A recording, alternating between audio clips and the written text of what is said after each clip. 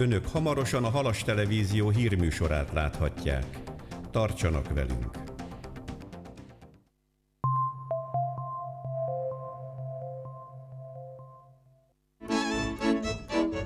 Május 19-én a Pest megye népművészetért díja kitüntetett Zagyba Banda lesz a Folkesték sorozat következő házigazdája. Kézműves kiállítóként a királykancsó termékeit ismerheti meg a közönség. Lesz koncert, dal és tánctanítás, majd hajnalig tartó táncház. A Folkesték sorozat támogatója a Nemzeti Kulturális Alap Halmos Béla programja, valamint az Extraktum Pharma gyógyszergyártó forgalmazó és szaktanácsadó ZRT.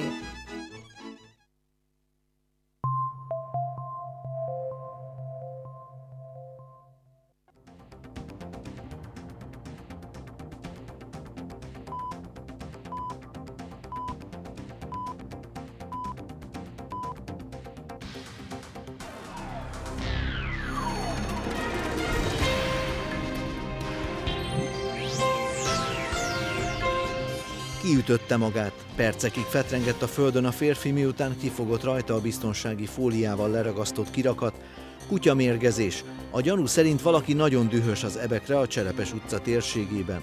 Várják az esőt, az egyre szárazabb nyarak miatt sokan felhagynak a kiskerti zöldség és gyümölcs termesztéssel. Új eszközök, a mentő alapítványt sokan támogatják, így tudják fejleszteni a felszerelést.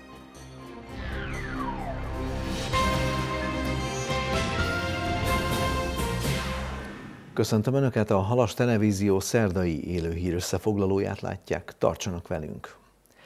Ez fájhatott neki. Egy hatalmas terméskővel akarta betörni az egyik halasi műszaki üzlet kirakatát egy férfi. A védőfólia felfogta az ütést, ennek az lett a következménye, hogy jól melbe vagy fejbe verte a támadót a terméskő. Több mint két percig fetrengett a földön a kirakat mellett. Így nézett ki a kirakat a köves támadás után. Kraus Zoltán és munkatársai elcsodálkoztak, amikor visszanézték a biztonsági kamera felvételeit. Hétfőn este 9 óra 55 perckor egy ismeretlen fiatalember rövid nadrágba itt a kirakat előtt először bóklászott, majd egy nagy kővel megpróbálta a kirakat üveget beütni. A visszapattanó kő láthatólag megütötte vagy melbevágta, mert több percig eszméletlenül hevert az oszlop mellett a kamerafelvételek alapján. Ennyit láttunk. Az üzlet tulajdonosa azonnal értesítette a rendőrséget. Nyitás előtt észleltük a, a kirakatnak a, a sérülését, hál' Istennek nem tört be teljesen, a biztonsági fólia megmentette. A rendőrség elvitte a kamerafelvételt, és hát annyit mondtak, hogy ismerős az illető, és valószínűleg tudják is, hogy kicsoda.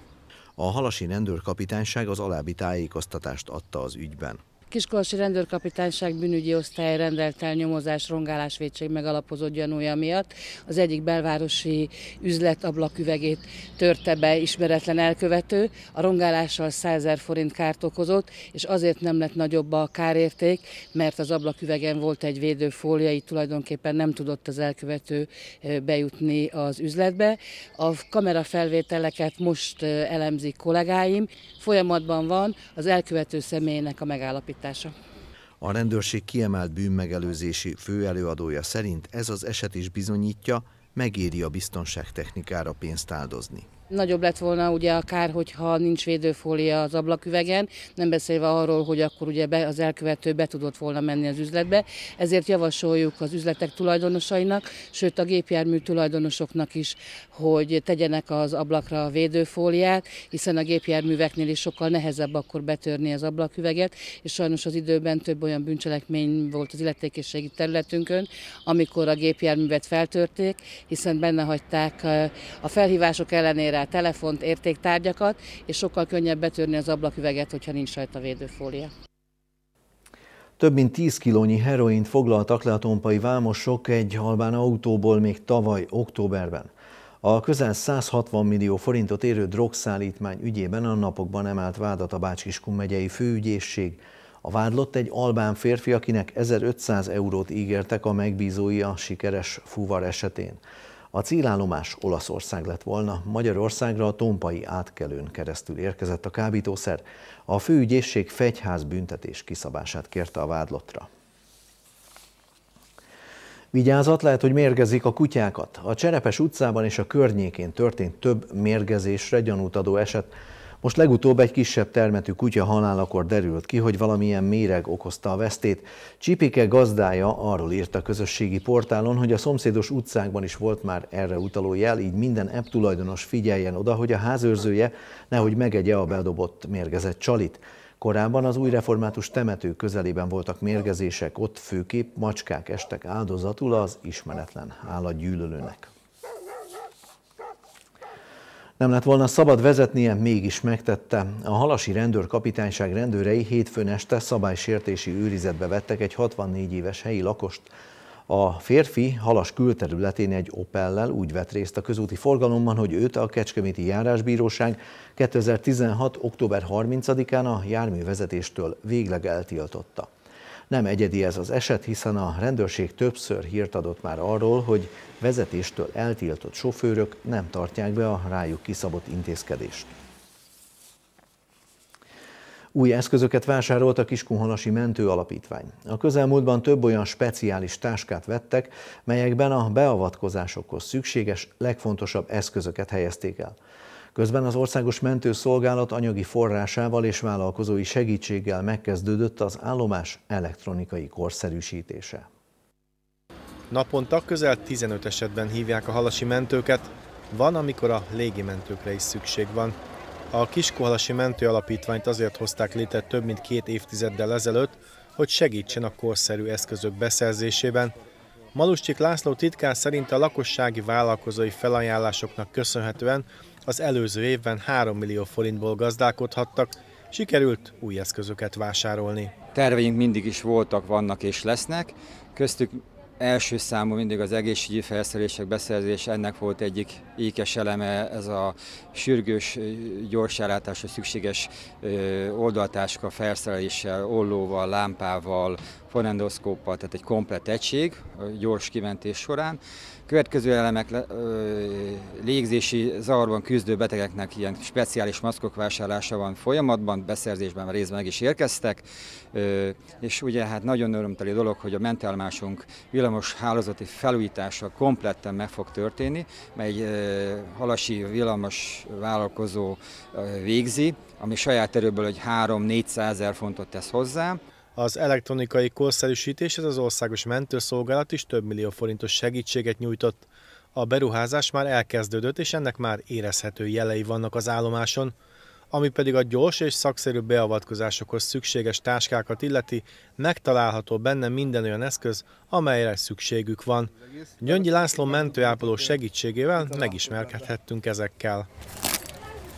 Felül van egy fonendoszkóp, Ugye este is szoktunk kivonulni, van itt egy pár zseblámpa, illetve pupillalámpa. Van itt egy ilyen olló, ezzel, hogyha ruházatot kell levágni, traumás sérült, illetve újraélesztésnél nagyon praktikus, hogy az is kéznél van, egyből tudjuk föltenni az elektródákat. Amit említettem, vina biztosításhoz van felszerelés, van egy ilyen kis fertőtlenítőszer, illetve különböző méretekbe kanülök. Az új táskák már éles helyzetben is vizsgáztak, a benne lévő eszközök listáját szükség esetén bővítik, és elhasználódás esetén azonnal cserélni tudják. A tavalyi asszályos volt, az idei talán még szárazabb lesz.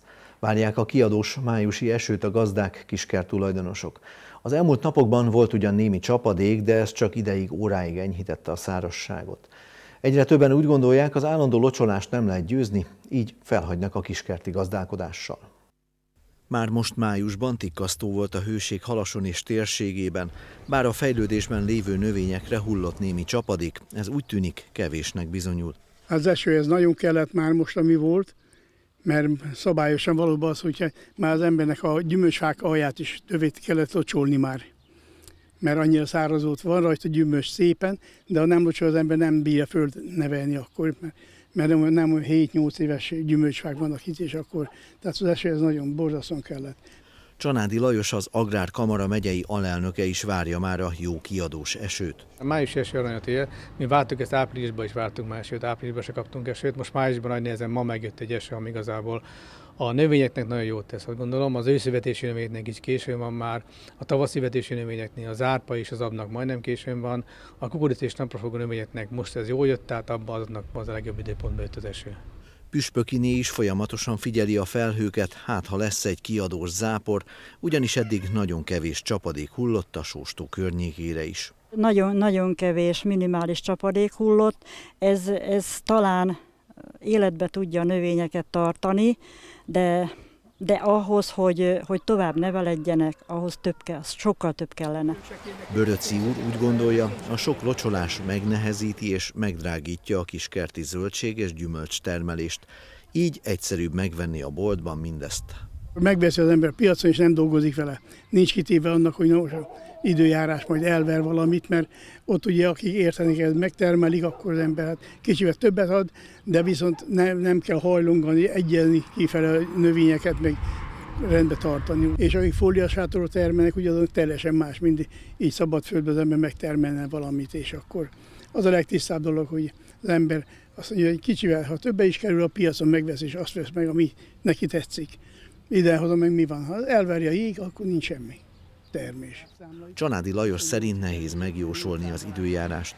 A tények és a meteorológiai adatok azt mutatják, hogy nagyon száraz lesz a 2018-as nyár. Általában az időjárással mindig minden évben más típusú időjárás van, általában típusok vannak, tehát évjárat típusok vannak, évtípusok vannak, amiben más időjárás van.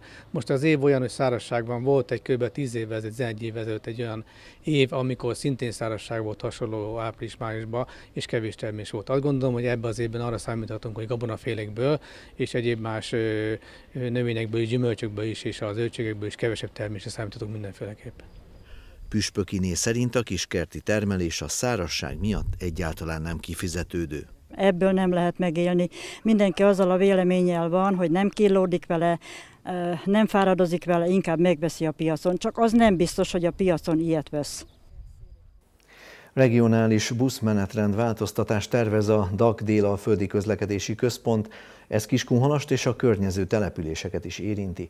A busztársaság közleménye szerint június 16-tól, ez egy szombati nap tervezik bevezetni a járatokkal és megállókkal kapcsolatos módosításokat. Az egy hónap múlva életbe lépő új menetrendet azoknak lesz célszerű áttanulmányozni, akik például Szegedre, Kecskemétre vagy Félegyházára utaznak, de a Halas Kiskun Majsa és Halas Kecel vonalon közlekedőket is érintik a módosítások. A tervezett új menetrendtől, menetrendről a város internetes oldalán a kiskunhalas.hu-n is lehet tájékozódni. Halason is vannak ilyenek. A Földművelésügyi Minisztérium kihirdette az állatmenhelyek, valamint ebrendészeti telepek korszerűsítését célzó 2018-as pályázatokat. Támogatási igény civil szervezetek, egyesületek, alapítványok és települési önkormányzatok nyújthatnak be az állatvédelem területén végzett hasznos tevékenységük megvalósítását elősegítő pályázatra. 28,2 millió forintra pályázhatnak az állatmenhelyeket működtető civil szervezetek, 15 millió forintra pedig az ebrendészeti telepeket működtető civil szervezetek és települési önkormányzatok. Május 31 a záró határidő, 1 milliótól maximum 5 millió forintig terjedő összegre lehet pályázni. Híradónk végén összefoglaljuk a legfontosabbakat. Kiütötte magát. Percekig fetrengett a földön a férfi, miután kifogott rajta a biztonsági fóliával leragasztott kirakat. Kutyamérgezés. A gyanú szerint valaki nagyon dühös az ebekre a Cserepes utca térségében. Várják az esőt, az egyre szárazabb nyarak miatt sokan felhagynak a kiskerti zöldség és gyümölcs termesztéssel. Új eszközök, a mentő alapítványt sokan támogatják, így tudják fejleszteni a felszerelést.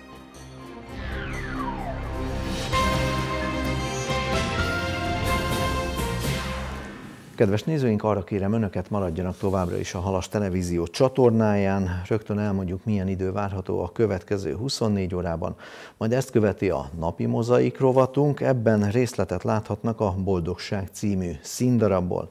Fél nyolckor kezdődik a Beszéljünk róla című magazinműsorunk. Ennek három vendége lesz itt a stúdióban. Merényi Jakab, Balanyi László és Knáb János. Ők mindannyian Pro Urbe díjat kaptak, de az adásban megszólal a negyedik díjazott Fán Lajos is, aki könyvvizsgáló és a Sziládi Áron Társaság elnökeként vívta ki ezt az elismerést. Hamarosan tehát ezzel folytatjuk, számítunk további megtisztelő figyelmükre, most azonban búcsúzom, viszontlátásra!